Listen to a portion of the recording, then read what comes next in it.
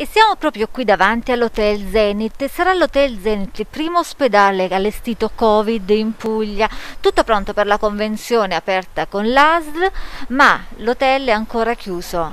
Si stanno svolgendo i primi lavori, ma a breve dovrà essere attivo e pronto ad ospitare i primi malati Covid. L'hotel, insomma, sarà a disposizione di persone positive al Covid-19 che non necessitano di ricovero in strutture sanitarie e non possono trascorrere il periodo di quarantena nel proprio domicilio. In particolare sono destinatari dell'accoglienza nella struttura i soggetti positivi al Covid asintomatici e i soggetti cosiddetti stretti di caso, non ritenuti cioè nelle condizioni di rimanere presso la propria abitazione, tra le possibili ragioni l'inesistenza di ambienti adeguatamente dedicati. La permanenza in albergo consente quindi di evitare il possibile contagio dei componenti del proprio nucleo familiare e di trascorrere l'isolamento in sicurezza.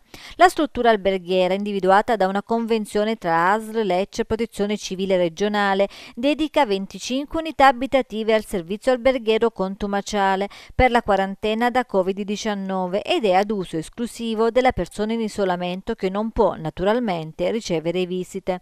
Nell'albergo può entrare il personale alle dipendenze della struttura, il personale sanitario, i fornitori autorizzati dalla protezione civile o dall'ASL e gli ospiti designati dall'ASL.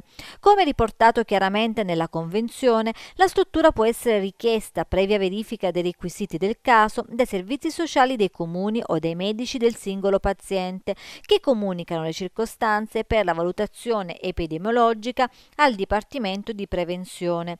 Il Dipartimento di Prevenzione a sua volta valuta le condizioni condizioni epidemiologiche dei possibili destinatari del servizio, comunica alla protezione civile l'attivazione del singolo paziente.